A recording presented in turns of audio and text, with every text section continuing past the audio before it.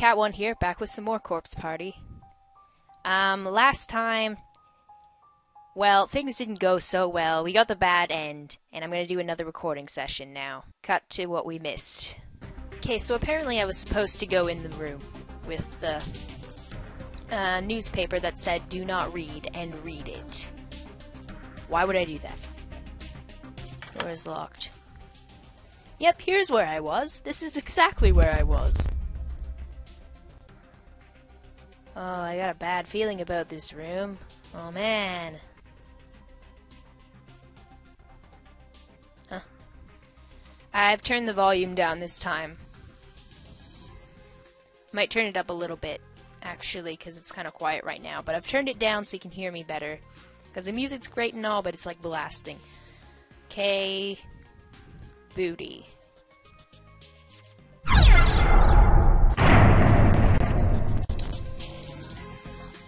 Then we approach the skeleton and we notice that it says that there's a message don't look at the newspaper. But we're going to look at the newspaper.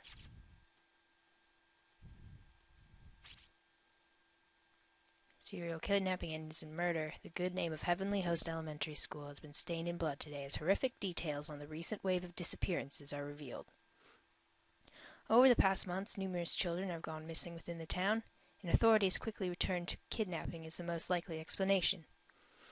Now investigators have located the whereabouts of these children, and their findings are far worse than anyone could have anticipated.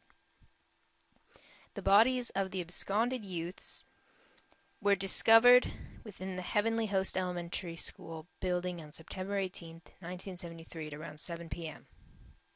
Authorities further revealed that a male instructor from the school was found with them alive, alive but near catatonic, holding a pair of bloodied scissors. Each of the corpses appeared to have its tongue severed and removed. Something mutilations far too, probably grotesque, to describe.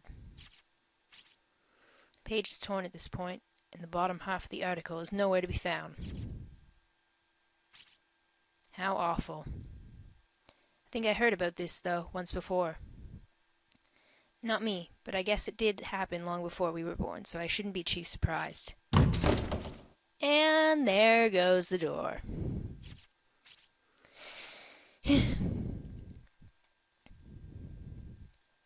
oh no, it's locked. Seems fixed to the wall like a decoration. It won't open. Won't open. Well, now what?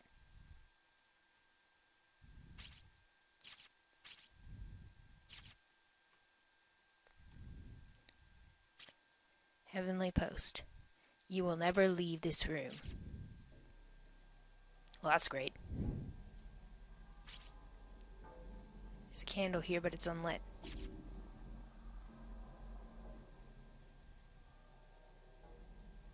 Uh. The door seems fixed to the wall like a decoration. It won't open. Well, what do we do? You will never leave this room. There's no way out.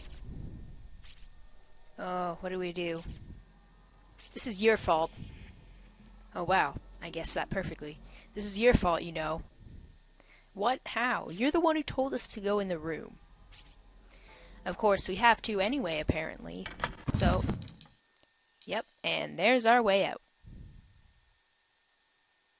Let's go. Oh man, that scared the crap out of me.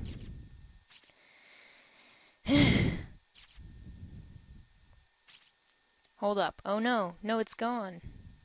What is? The paper doll scrap I got from Mayumi.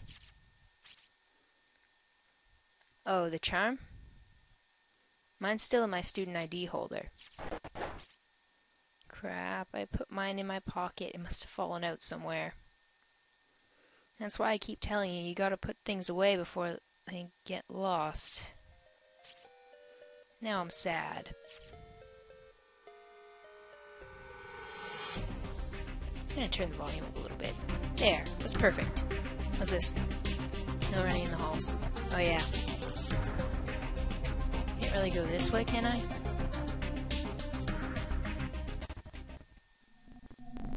Oh, that's where I came from. Now I think I'm supposed to go to the infirmary. Let me check.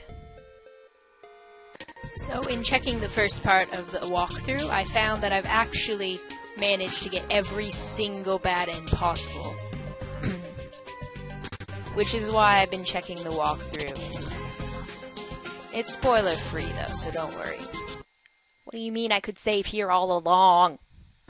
First time, alright.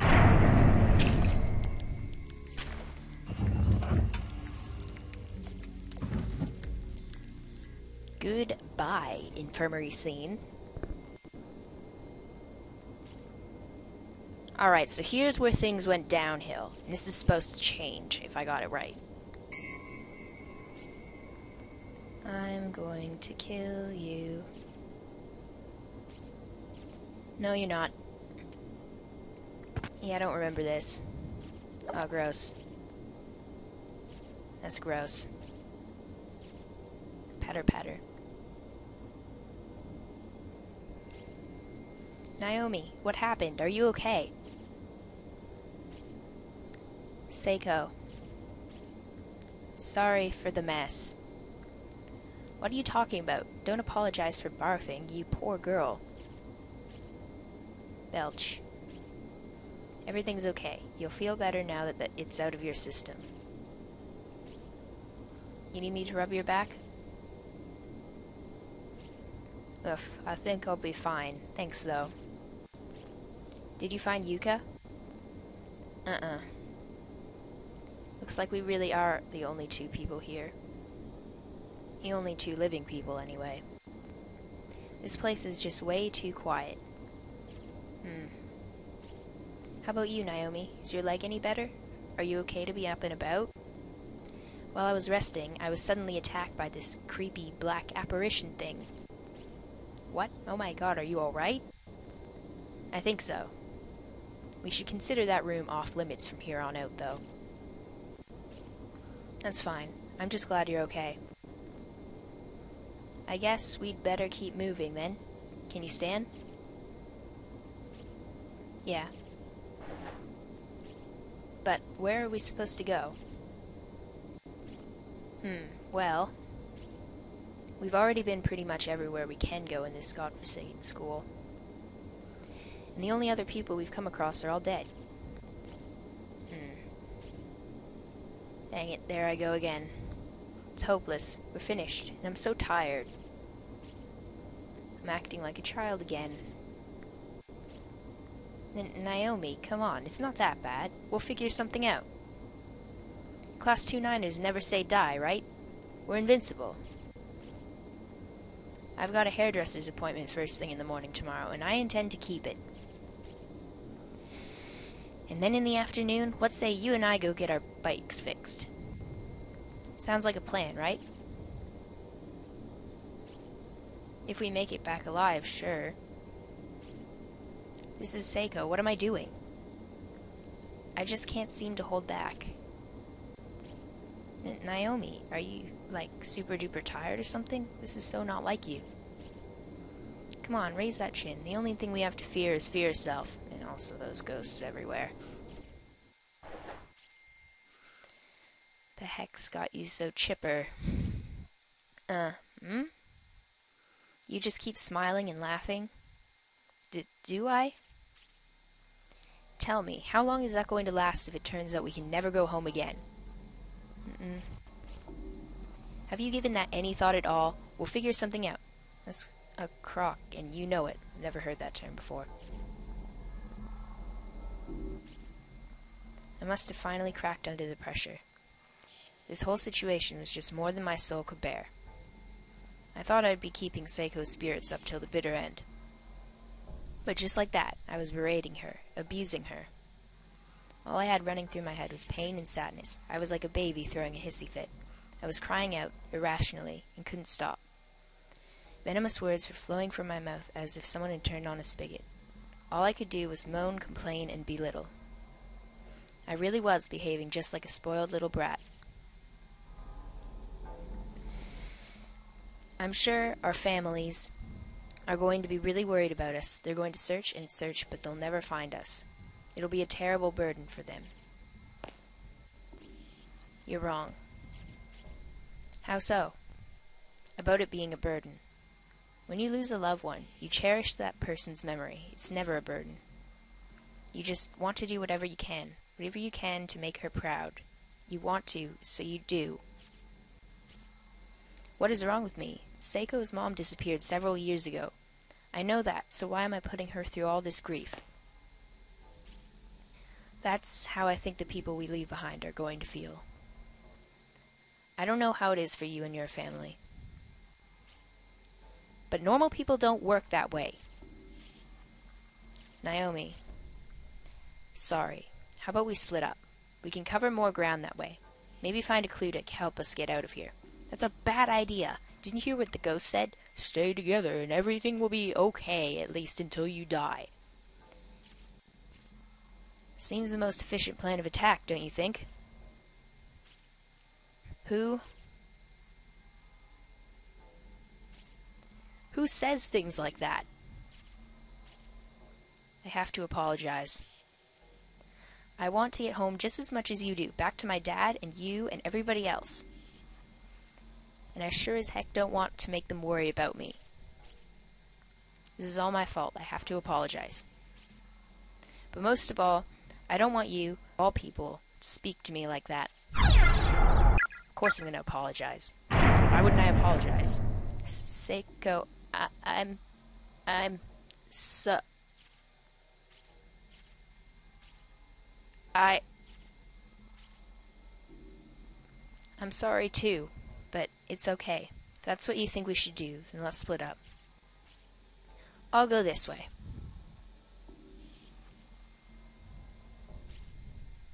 The heck is wrong with me? I couldn't even manage to say the word sorry.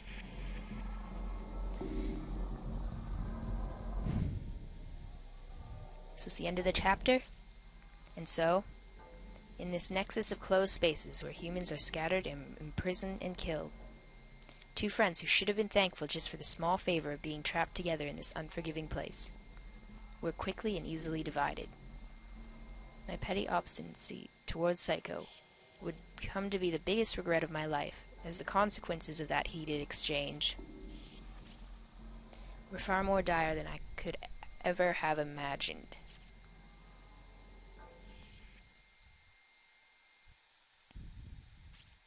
Sob, wail. Naomi. That jerk.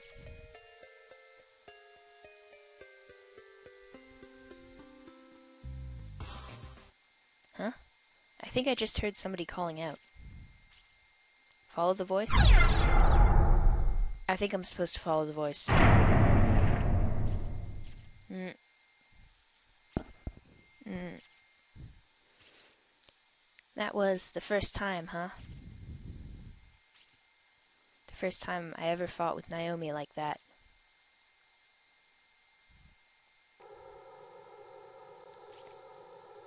Pant, pant. From the moment Seiko and I parted ways, the fear I'd been harboring since I just got since I got here just kept growing stronger and stronger. Why would you split up? That'd be scary. Like why would you wander this ghost school all alone when you could have a friend? But nope, you gotta split up. Good job, Naomi. I felt like something else was in my head, like I was under some alien influence. In my mentally distraught state, I ran all through the building, frantically searching for Seiko. I just kept calling her name over and over again. When I finally came back to my senses, I found myself standing in the third floor hallway. Wait, didn't this happen before? Seiko, Seiko, where are you? Come on, Seiko, don't leave me by myself in here. This has happened before. I definitely remember this happening before. Seiko, is that you? Aw, oh, come on, you can't be telling me I'm gonna get the bad end again.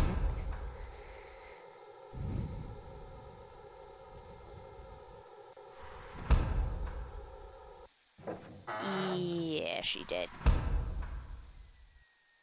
Seiko, no. Is this all gonna happen over again?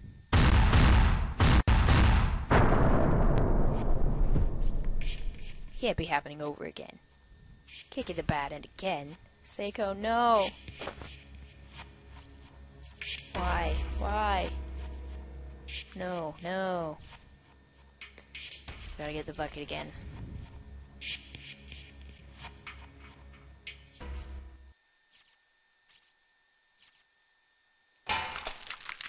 Maybe if I get it faster this time, I can save her.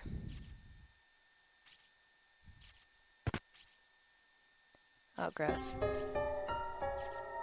Okay. Nah, she dead.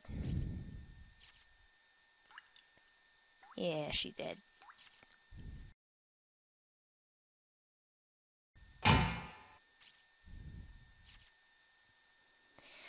Please don't give me the bad ending this time.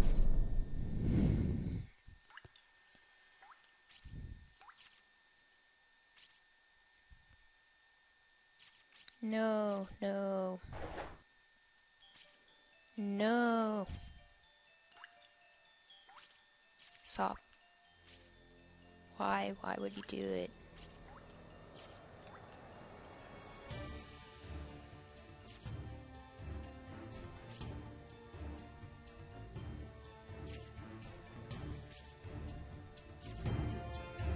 We've seen all of this before.